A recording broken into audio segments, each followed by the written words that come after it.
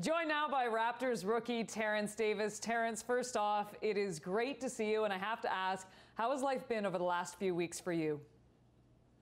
Well, it hasn't been as uh, as one you know would hope to be, but you know it's been quite well. Uh, just you know back home enjoying family, so I can't complain about that. But um, you know definitely wanna wanna be you know doing my job right now and you know with some of my brothers, my teammates know, doing doing doing our job and doing you know what we love to do, and that's play basketball. But uh, being around family has definitely been been amazing. So uh, you know, it's pretty pretty cool.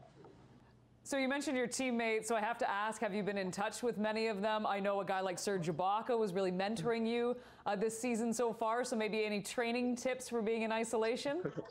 yeah, no doubt. Uh, I, I, you know, kept in touch with uh, Serge. Me and Dewan, we actually uh, spent two two weeks with him, uh, working out, just you know, just staying in shape and you know, really uh, enjoying enjoying some nice weather. But uh, yeah, I you know keep in touch. Talked to Fred the other day. Uh, there's a few more guys that I have to you know reach out to, but um, yeah, definitely keep in touch with some of those guys, and I have some uh, some workout plans from Serge as well. So uh, it's been good. And maybe some dietary as well. I know he was big on your diet before all this went down as well, right? yes, real. No doubt. no doubt about that. now I got to ask TD. Um, you said that you were at a private gym there in Tennessee, and Tennessee is one of the earliest states to say that they are going to be reopening. How has yes. training been for you, and how have you adjusted? Well, uh, it's been, I would say, it's been, uh, it's been quite enjoy, like I've been enjoying uh, just this quiet time and this downtime. Uh, just really, you know, like private sessions. You know, get in the gym. You know, it's just me and you know, maybe one other person. Just really, you know, putting in the work and just grinding because uh, you know, everything was just taken away from us like that. So with that feeling and you know, with that that happening, you kind of have this sense of urgency now that um, you know, like you don't you don't want this you don't want this to end, you know. So you know, so uh, just just about it, you know, being in the gym and being able to get in the gym has just been just been an honor, honestly. So uh, I've been thankful for that. You know, I know Raptor fans have been just so impressed with your season so far. You know, you're the guy like Freddie who bet on himself, and then you've just been getting gradually better and better. What was it like for you when this season came to a complete halt, knowing the momentum that you personally had?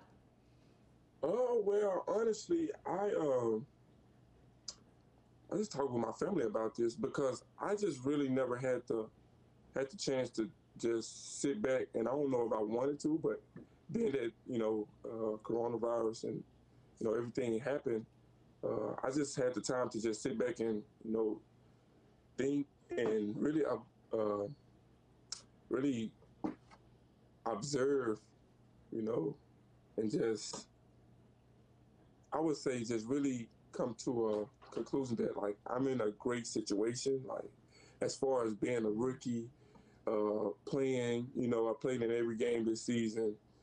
You know, I might have not have been, you know, the amount of minutes I want to play, but you know you know what I'm saying. I'm just so blessed to play in every game, and like the opportunity that's in front of me, you know, I want to take advantage of it. And that's just what you know I've been thinking about over this over this break, and uh, that's why I've been in the gym and really just you know st- going up a notch or two, you know, just getting ready for you know the playoffs. If if we do end up playing again, I'm not sure, you know, um, what's going to happen, but uh, I'm pretty sure the NBA is going to do a great job, whatever they decide to do. So it was announced this week that you can go to training facilities no earlier than May the 8th. Have you heard anything personally about this uh, when it comes to the Toronto Raptors? Uh, I would say nothing personally, but uh, you know we are the uh, the organization and you know the NBA and Adam Silver are working together to uh, to pretty much you know get get everyone you know back to get pretty much get everything back to normal. I'm not sure how uh, how long it's gonna take, but uh, you know, we're just taking it one one step at a time. I'm pretty sure the NBA is, you know, uh, have some some things in mind that they want to you know get across, and uh, you know, we just just gonna follow their lead. They're they're they're a great great organization, so we're just gonna follow follow their lead. So.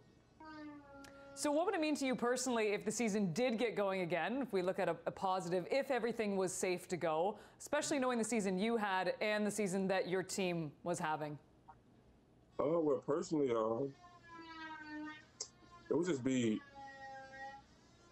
I mean, I'm pretty sure every every player right now is thinking the same thing about the seasons, season uh, resuming. Uh, you know, with me, it's just you know I'm a rookie. I want to I want the chance to you know play in the playoffs. I want that chance to actually, uh, you know, prove that I, I, I belong in this league. Like, you know, I've, I've always been that guy that's out to prove, and uh, you know, in the playoff, that's that's that's where you.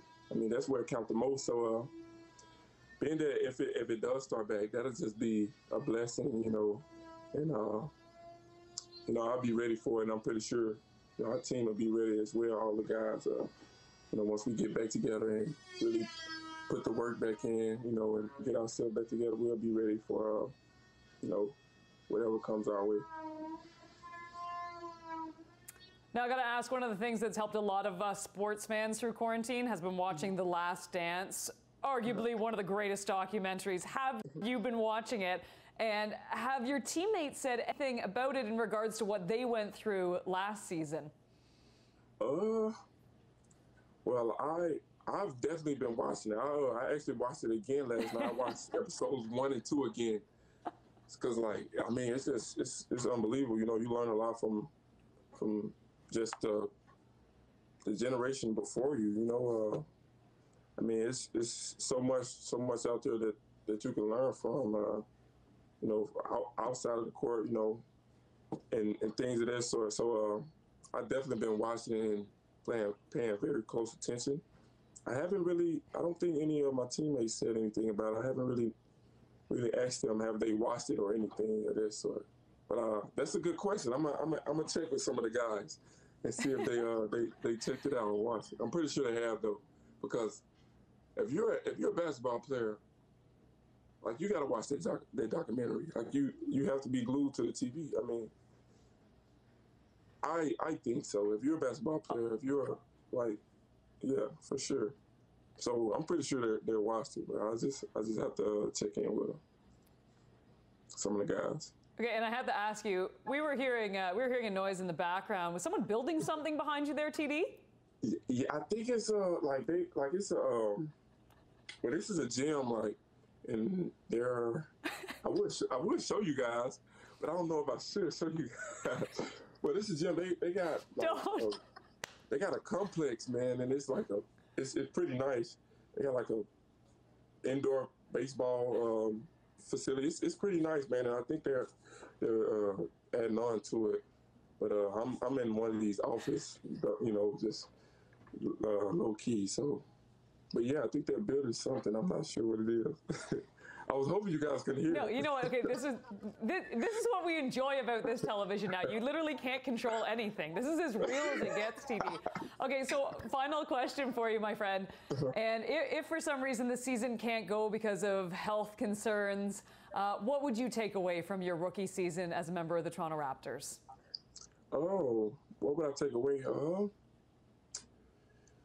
just uh, just being ready when your when your time is time is called. You know, um, continue.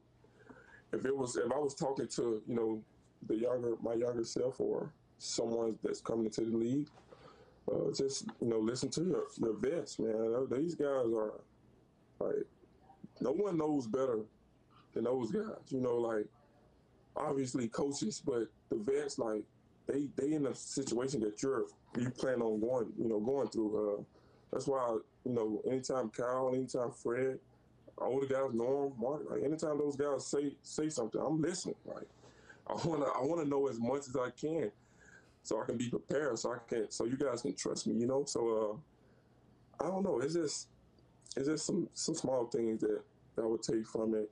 Uh, just listening to the older guys, uh, and you know, like I said, being ready when your time has come, because once it comes, it it it may not come back, you know. So just being ready when, when your time is done. That's that's that's one big thing.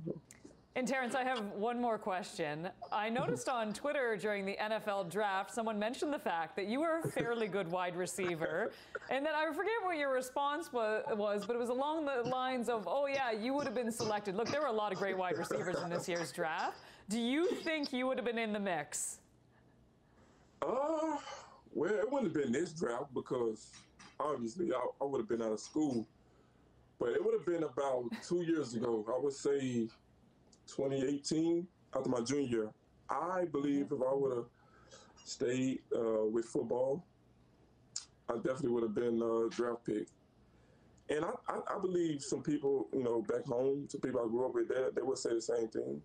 The guy who mentioned that on Twitter, he's actually a Mississippi football guy, so he's he know he knows a lot about football. You know, you know what I'm saying? He know he knows the game. So uh, I don't think he was. I don't think he was just you know trying to just you know tweets something like I I, I believe in it. So uh, I definitely think that would that would, that would have happened or could have happened. But I don't want to take anything from you know football guys. Uh, I was just I mean I played it growing up and I was in love with it. I just you know loved the game of basketball way more and uh, you know I looked at the the differences, the um, the pros and the cons when it comes to football and basketball. And you know I decided basketball and not a I'm thankful, you know, that I did decide the game of basketball.